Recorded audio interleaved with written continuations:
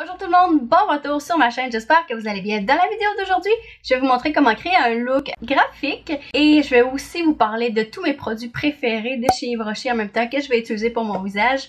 Juste avant, n'oubliez pas d'aimer ma vidéo, de vous abonner à ma chaîne et de cliquer sur la cloche de notification pour être avisé dès que je sors une nouvelle vidéo. Et donc, juste avant qu'on commence, n'oubliez pas que mes vidéos, elles sont pour vous, pour vous permettre de laisser aller votre créativité. Ok, alors je vais commencer avec la crème de jour 48 heures d'hydratation de chez Rocher.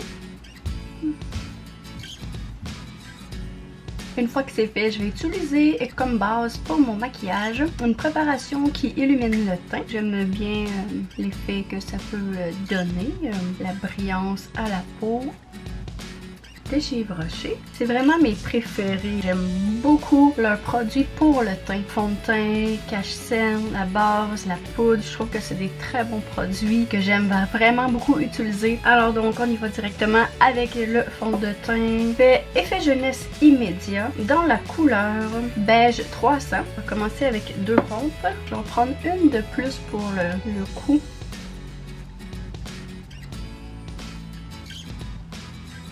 Couverture moyenne. Je vais mettre euh, une pompe de plus ou deux pour, euh, pour ajouter un peu plus de couvrance. Je dirais que Yves Rocher, par contre, leur produit, qui est un peu inconvénient, c'est qu'ils n'ont pas beaucoup de, différentes couleurs. Donc, c'est sûr que pour euh, certains types de peau, il y a moins de choix pour certains types de couleurs. Tout de suite après, le cache-cerne, qui convient, mais qui est vraiment une couverture moyenne, ce qui fait en sorte que des fois, ça, vient empêcher l'effet un peu trop euh, qu'on peut avoir des fois. Dans la couleur rose,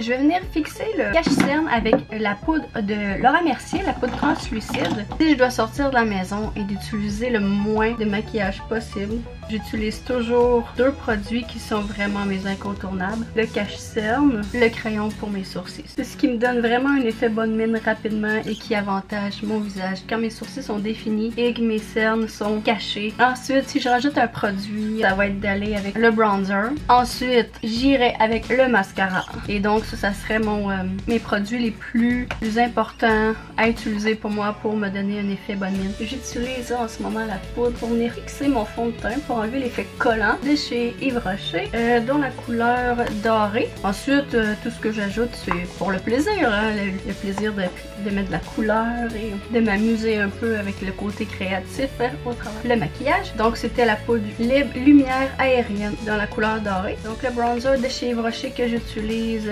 présente comme ça ici. J'ai deux couleurs, j'en ai une plus pâle, une plus foncée. Je vais juste les mélanger en fait. Dans la couleur âle moyen. Je me place comme pour faire un bisou. Je m'enligne à partir de la ligne des cheveux et je descends. Comme ça ici, en ligne droite. Pour la base, comme ça ici. Et je monte un peu comme en triangle. Et on l'applique aussi à partir du lobe de l'oreille en descendant en V au niveau du centre du cou et voilà, et, aussi donc sous la mâchoire. Venir sculpter, définir la mâchoire.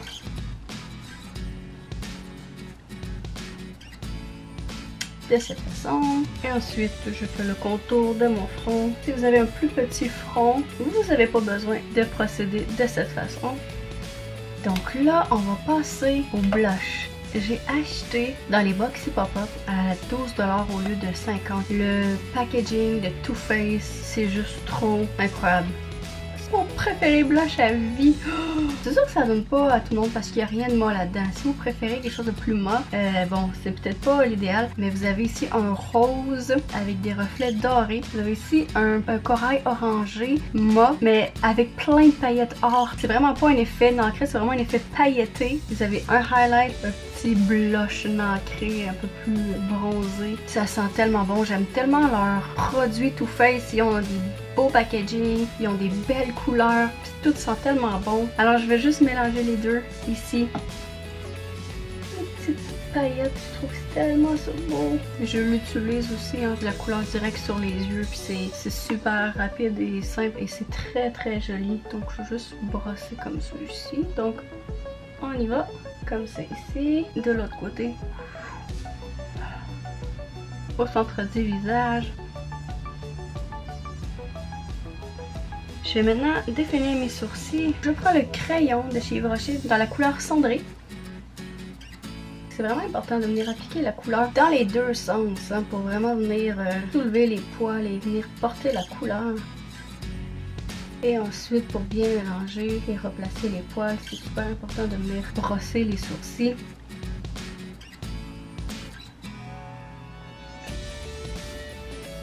Ok, alors là, ce que je vais faire, c'est que je vais utiliser le Métamorphix de chez Les Oitiers avec un petit pinceau, comme c'est ici, celui-ci de chez Morphe. Je vais verser quelques gouttes dans le petit bouchon pour venir tremper mon pinceau. Et ensuite, je vais aller chercher la couleur Barbie juste ici dans la palette Barbie de chez Pure Cosmetics. Une de mes préférées palettes, je vous dis. Donc là, mes Temarfix, on ira en sorte que la couleur qu'on utilise transforme en, en liquide eyeliner. Alors, je pars simplement, comme on ferait normalement, un trait de eyeliner à la base des cils. Et ensuite, je vais suivre mon arc sourcilière et je vais passer directement au milieu de où j'ai le creux de l'œil et mon sourcil. Donc, c'est-à-dire ici. Alors, je vais juste me faire une petite marque comme ça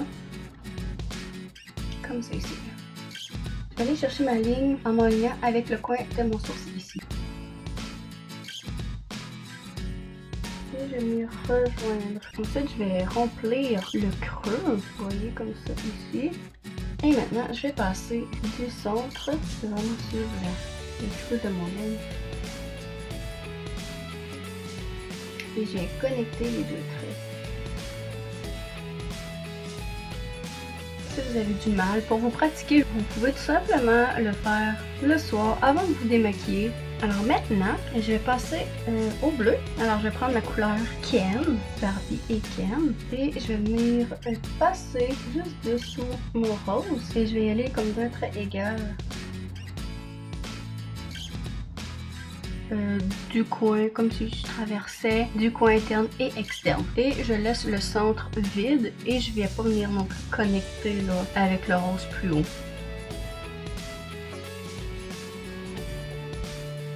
Je vais utiliser le mascara de chez Tarte. Donc je vais utiliser deux couches pour les cils du haut et une couche pour les cils du bas.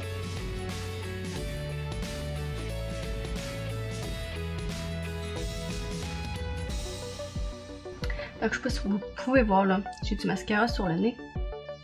Je vais vous montrer là, pour l'enlever sans enlever tout le maquillage. D'abord, il faut le laisser sécher. Donc, je vais l'enlever en utilisant la, la brosse opposée de mon crayon pour les sourcils. Regardez, je gratte doucement